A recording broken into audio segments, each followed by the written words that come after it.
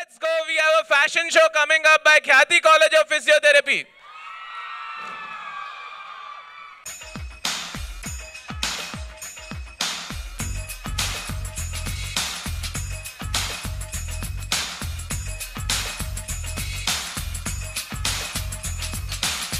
My name is Dita. I'll be your mistress tonight. I'll be your lover.